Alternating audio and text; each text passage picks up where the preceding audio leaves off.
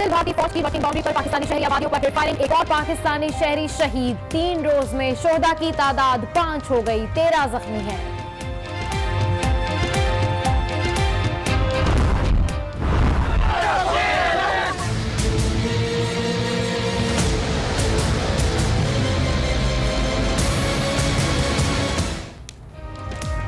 एहतसाब अदालत में शरीफ खानदान के खिलाफ नैब रेफरेंसेस पर समात। नवाज़ शरीफ और मरियम नवाज़ अदालत में पेश। नवाज़ शरीफ ने गुजशत रोज अदालत में दिए गए बयान में जी आई टी अरकान पर एतराजात उठाए थे।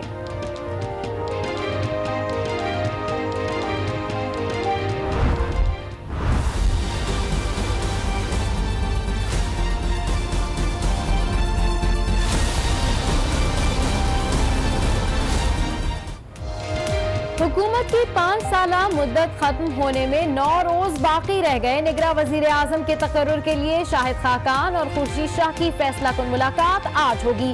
पीपल्स पार्टी जलील अब्बास जिलानी और जका अशरफ पर मेहरबान। तसदुक हुसैन जिलानी, नासिरुल मुल्क और डॉक्टर इशरत हुसैन नून आज होने वाला इजलास मनसूख कमेटी ने चेयरमैन नैब को तलब कर रखा था।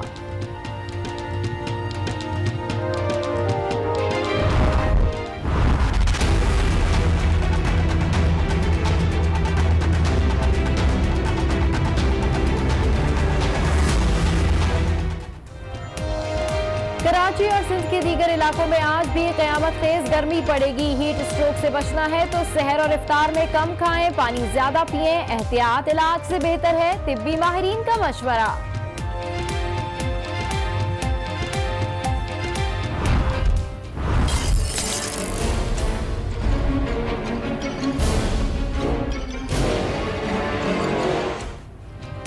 एक तरफ़ गर्मी तो दूसरी तरफ़ बिजली की लोड शेडिंग शहरी बिलबिल आउट है कराची समेत अंदरूनी सिंध में लोड शेडिंग से कारोबार ज़िंदगी ठप।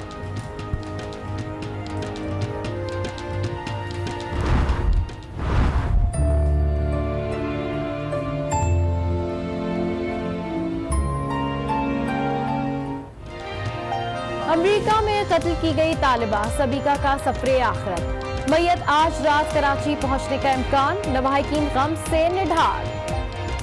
और मैं हूँ सबा शेख। बुलेटिन का बाकायदा आगाज़ करेंगे इस अहम खबर से। यहाँ आपको बताएँ कि वर्किंग बाउंड्री पर भारतीय फोर्सेस की बिला इश्तियाल फायरिंग और गोलाबारी वक्फे वक्फे से जारी है। गुजिश्ता रात भारतीय जारियत से एक पाकिस्तानी शहरी शहीद हो गया। पंजाब रेंजर्स की दुश्मन को मुँह तोड़ जवाबी कार्रवाई भी जारी है। वर्किंग बाउंड्री पर भारतीय फोर्सेस की बिला इश्तियाल फायरिंग और गोलाबारी वक्फे वक्फे से जारी है और गुजिश्ता रात भारतीय जारियत से एक पाकिस्तानी शहरी शहीद हो गया। इस हवाले से मजीद जानेंगे, हमारे साथ मौजूद हमारे नुमाइंदे ख्वाजा रेहान से। जी, ख्वाजा रेहान, अपडेट कीजिएगा, क्या सूरत हाल देख रहे हैं वर्किंग बाउंड्री पर?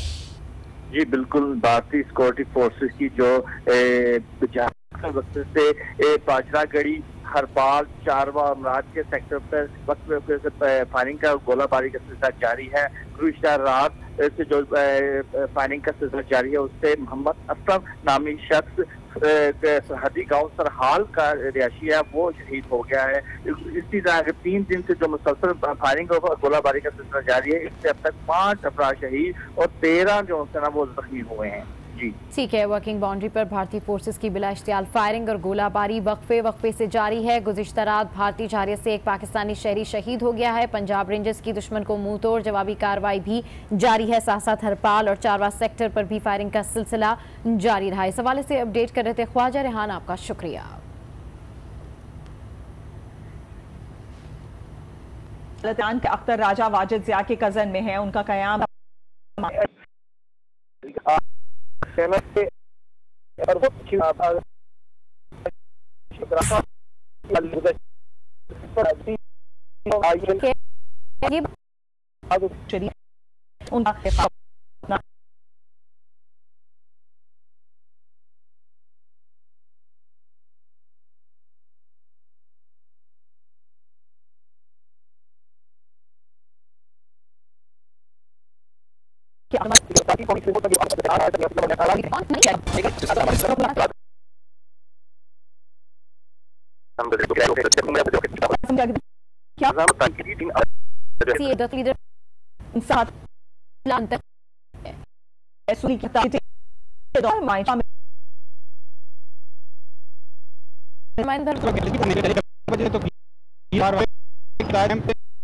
में गर्मी की शिद्दत आरार है दर्जा हरारत चवालीस तक पहुँचने का इम्कान है। इसी बारे में मजीद बात करेंगे। हमारे साथ मौजूद हैं डायरेक्टर मेट अब्दुल रशीद साहब। अब्दुल रशीद साहब बहुत शुक्रिया आपने आज न्यूज़ के लिए वक्त निकाला। आज बताइए कराची का मौसम कैसा रहेगा?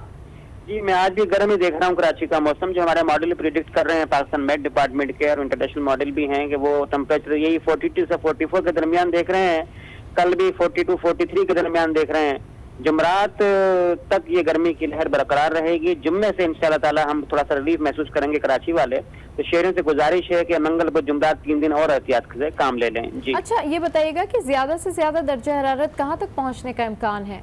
आज तो 44 मैंने आपसे अर्ज़ किया ना। लेकिन शायद आप पूछना चाह रही कि रिकॉर्ड कितना है तो वैसे रिकॉर्ड कराची का बहुत ज़्यादा है। 47.8 डिग्री सेंटीग्रेड रिकॉर्ड हुआ था 1938 में 9 मई को। जी। तो वो काफ़ी है, बड़ा रिकॉर्ड है लेकिन फ़िलहाल ये 44 तक से ज़्यादा नहीं जाएगा इंशाल्लाह। ठीक है डीजी मेट अब्दुल रशीद इस वक्त मौसम की सूरत हाल से हमें आगाह कर रहे थे। कराची में गर्मी की शिदत आज भी बरकरार रहेगी। दर्जा हरारत चवालीस तक पहुँचने का इम्कान है जबकि दूसरी जानब बर अरब में उठने वाले तूफ़ान से हवा के दबाव में कमी वाक़ हो गई है। तो ओवरऑल अगर मौसम की सूरत हाल के हवाले से बात की जाए तो मजीद दो तीन दिन तक गर्मी शदीद पड़ेगी। कराची में मुसलसल बढ़ती हुई गर्मी और बारिश ना होने के बुनियादी वजह शहर में दरख्तों की कमी है। स्ट्रीट का जंगल बनता जा रहा है। शहर को इमारतों से ज़्यादा दरख्तों की ज़रूरत है। कराची में गर्मी की शिद्दत में इजाफा क्यों? वजह कंक्रीट की बस्तियाँ और बुलंद इमारतें। ये देवकल इमारतें तो आग बरसा ही रही हैं लेकिन शहर में गर्मी में इजाफे का एक सबब और भी है। दरख्तों की किल्लत। कराची में दरख्त ना होने के बराबर हैं और जो हैं भी उनका गर्मी की कमी में कोई किरदार नहीं। कराची से दरख्तों के सफ़ाई में खुद इंतजामिया मुलविस है। कराची में जो दरख्त कटे हैं, जो आपकी दौर में होर्डिंग माफिया ने काटे हैं, जो आपके दौर में एडवर्टाइजमेंट माफिया ने काटे हैं, जो पिछले दस साल में काट काट के दरख्त उन्होंने आपकी होर्डिंग्स लगाई हैं, कराची में वो दरख्त कब लगेंगे? बारिश ना होने की वजह भी इन्हीं दरख्तों की कमी है। दरख्तों की अफजाइश न सिर्फ़ खूबसूरती का बायस है बल्कि गर्मी की कमी और बारिश बरसने का सबब भी है। तभी आपको बताएँ कि पंजाब में भी लोड शेडिंग के सताए शहरियों पर गर्मी ने वार करना शुरू कर दी है लेकिन अवाम ने भी मसाइल का वक्ती हल निकाल ही लिया। बिजली ना पानी पंजाब की भी यही कहानी गर्मी के सताए नहरों की तरफ़ दौड़ पड़े।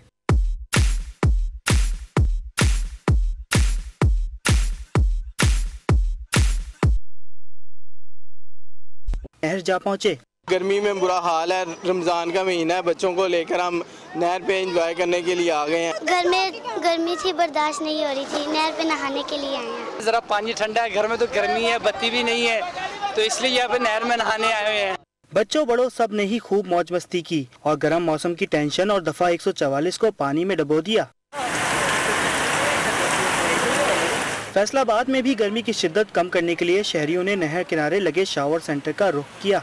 रोज़ा भी लग रहा था तो नहर के किनारे शावर लगे हुए हैं। तो नहा के इधर गर्मी की शिद्दत दूर कर रहे हैं। रोज़ा रखा हुआ है नहर में नहा रहे थे अभी माशाल्लाह इधर शावर लगे हुए हैं। पहले नहर में नहा रहे थे अभी शावर में इंजॉय कर रहे हैं। गर्मी और लोड शेडिंग के सितम अपनी जगह लेकिन पंजाब के शहरियों ने इन मसाइल का हल निकाल लिया है। दीगर शहरों की तरह कंदकोट में भी सूरज का पारा हाई है। दूसरी जाने बिजली की गैर एलानिया लोड शेडिंग ने आवाम का जीना अजीरन कर दिया है। मजीद बात करेंगे हमारे साथ मौजूद हमारे नुमाइंदे हजूर बख्श मंगी से। जी, हजूर बख्श मंगी, बताइएगा, क्या सूरत हाल देख रहे हैं कंदकोट में? हाँ जी, बिल्कुल, कराची की तरह कंदकोट में भी दर्जा हरारत इस वक्त चवालीस तक पहुँच चुका है और सूरज आँखें दिखाने लगा है।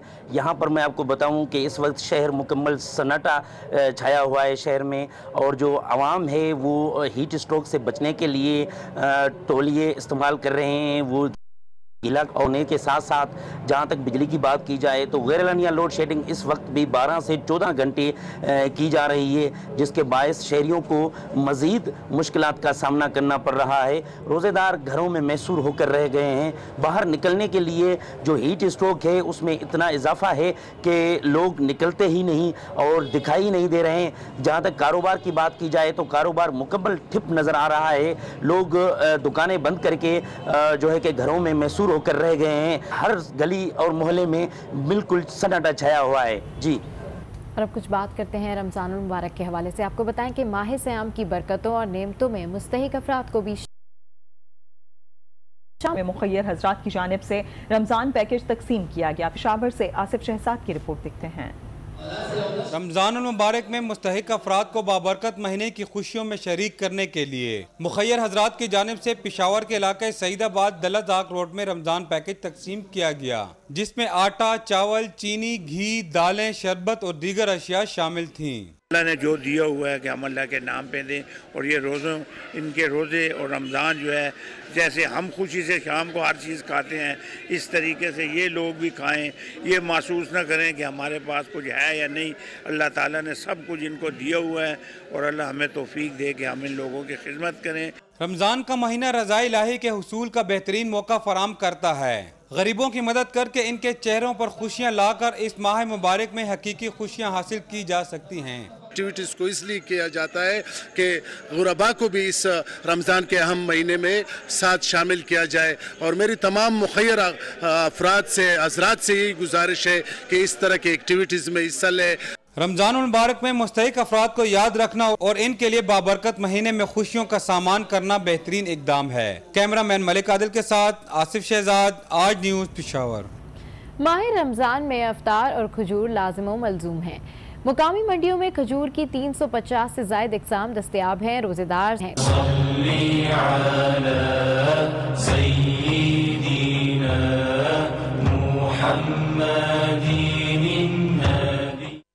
खजूर से रोजा अफ्तार करना सुनते रसूल है यही वजह है कि हर खासो हम खजूर को अफ्तार का लाजमी जुज तस्वर करता है। खजूर ना सिर्फ़ जन्नत का तोहफा है बल्कि इसका इस्तेमाल जिसम को दोबारा तरोताज़ा और तवाना करता है। जो भूख प्यास है हमारा जिसम में डाल होता है खजूर खाने से उससे विटामिन पूरे हो जाते हैं और जिसम में ताकत और कुत आ जाती है। खजूर जी अल्लाह की नेमत है और आप सल्लल्लाहु अलैहि वसल्लम का इरशाद फरमान है। कि खजूर के साथ रोज़ा खोलो तो बहुत अफजल है। मंडियों में मुल्की व गैर मुल्की खजूर की 350 से जायद अकसाम दस्तियाब हैं, जिनमें सऊदी अरब, ईरान और इराक से दरामद शुदा और सखर, रोड़ी और तुरबत में